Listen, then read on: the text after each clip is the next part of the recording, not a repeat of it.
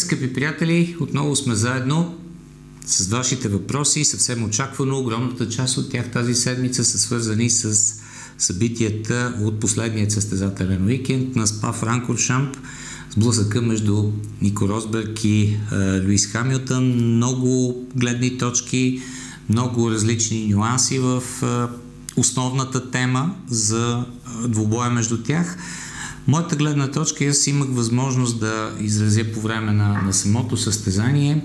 Аз мятам, че в а, конкретната състезателна ситуация вината е на Нико Росберг, тъй като той бе пилота, който се намираше по-назад, атакува изключително агресивно, по, по начин, по който трудно би могъл да спечели позиция на място, на което едва ли бе в състояние да изпревари Луис Хамилтън, който защити своята линия на движение и се стигна до, до този контакт, който от друга страна е един състезателен инцидент, каквито сме, сме наблюдавали безкрайно много в историята на Формула 1. Следващите големи въпроси обаче са свързани с това как се стигна, защо се стигна, какво беше напрежението, какво се случи в дните преди състезанието за Белгия, за да се стигне точно до тази ситуация и естествено в много голяма степен дали действията на Нико бяха предумишлени или бяха следствие именно на това напрежение, на, на, на всичко това, което наблюдаваме като, като развитие на състезанието между Нико и Люис през последните месеци. Имаше много интересни гледни точки. Антони Дейвидсън, например, сподели своето виждане, че никой е допуснал грешка, която не би трябвало да допуска един толкова опитен пилот в Формула 1. Грешка от недобро оценяване на, на ситуацията, но със сигурност не умишлено подхождане към а, конфликт с своя съперник.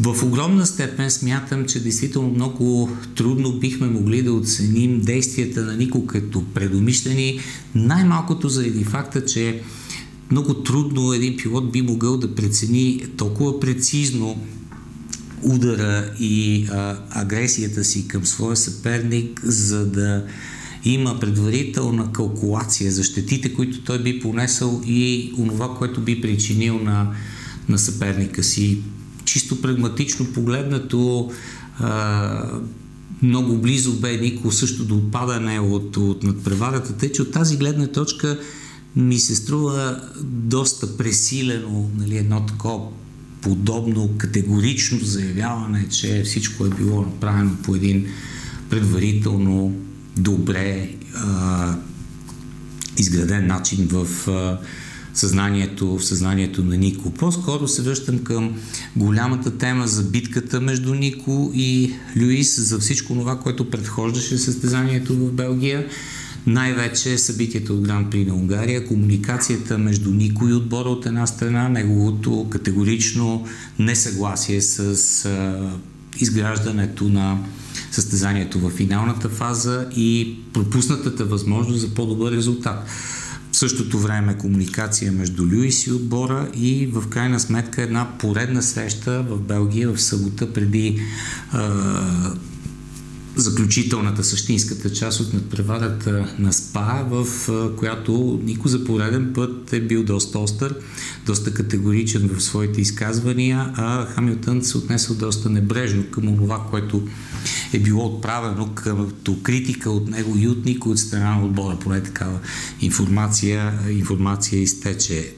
Цялото това подреждане на множество събития, увеличаване на напрежението, според мен доведе и до тази действително видима агресия в поведението от страна на Нико в състезанието за голямата награда на Белгия.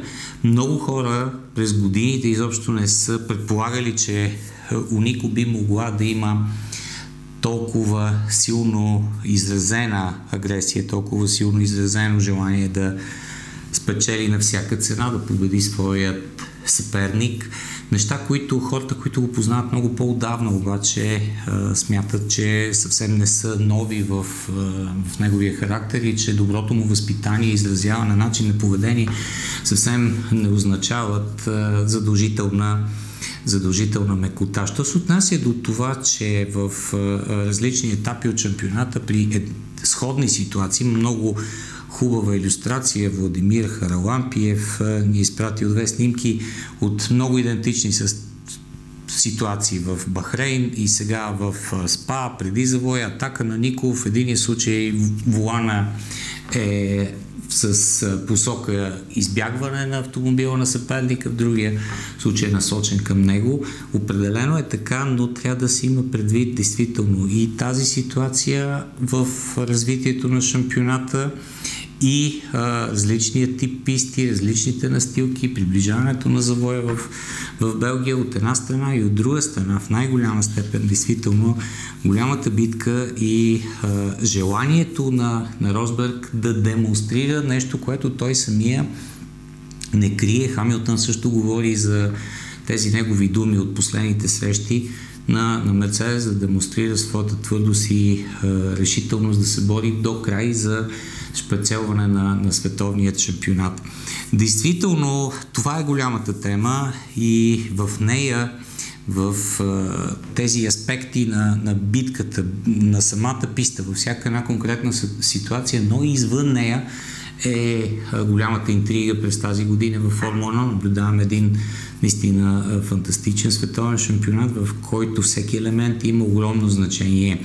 И а, излизайки вече от самото състезание, края на уикенда, изказванията на двамата, безкрайно многото коментари, да, категоричната позиция, примерно Ники Лауда за вината на, на Росберг, аз напълно казах, че споделям виждането за ситуацията, за момента, в който всичко се случи, но тръгваме вече към голямата битка, към това как от тук на сетне, изобщо как ще се бъде формирана средата и отношението на света, на отбора към а, разпределението на силите вътре в а, самия тим на Мерцедес. Това вероятно ще бъде крайно интересно за анализиране и за наблюдение от тук на сетне, защото пак връщайки се и на Унгария, връщайки се и на състезанията преди това, на начина по който се гледа на събитията в, във, всяко, във всяко едно конкретно състезание, може би е ключа към, към крайния успех, защото Хамилтън вече е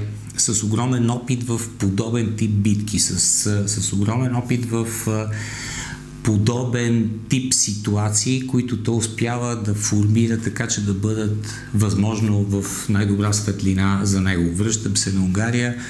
2007 година квалификацията там, събитията с Алонсо, преди това Монте Карло, никой няма да забравя точно как Хамилтън много елегантно пусна пред медиите своята гледна точка към събитията. Аз можех днес да спечеля, но отбора на ми позволи. Те смениха стратегията. Оттам нататък натиска на много влиятелната британска преса върху Рон Денис, върху всичко, което стана. После 2009 година Дейвид Райан беше уволнен заради подобен тип елегантни изказвания от страна на на Люис. И сега в тази голяма битка, действително, аз съм безкрайно любопитен да видя каква ще бъде реакцията и какъв ще бъде баланса, който ще успее да постигне отбора на Мерцедес, защото никой в този план не бива да бъде подценяван. Никой е, а, както, както и на пистата, вероятно много по-арогантен и безкомпромисен, отколкото много хора мислят. Никой говори пет езика, на тях той спокойно може на немски, на френски, на италиански да даде своята гледна точка.